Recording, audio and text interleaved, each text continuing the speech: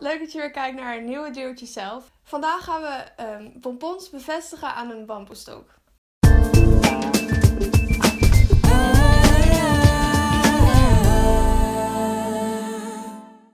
Wat hebben we ervoor nodig? We hebben nodig een bamboestok, een schaar en wol.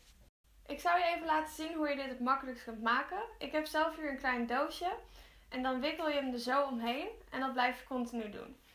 Op het laatste, dan kan je dit zo vastmaken en dan kan je hem losknippen.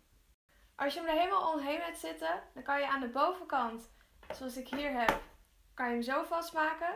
En aan de onderkant kun je hem dan losknippen. Als je hem los hebt geknipt, dan kan je het in het midden ook vastmaken. En dan heb je zo een dingetje.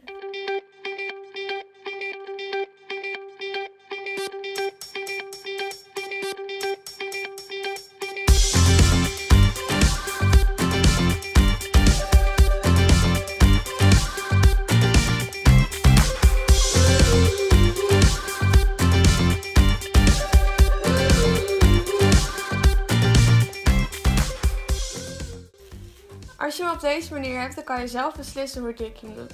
Als je hem steeds voller doet, dan wordt de pompon heel dik. Maar ik kies ervoor om een beetje medium te doen.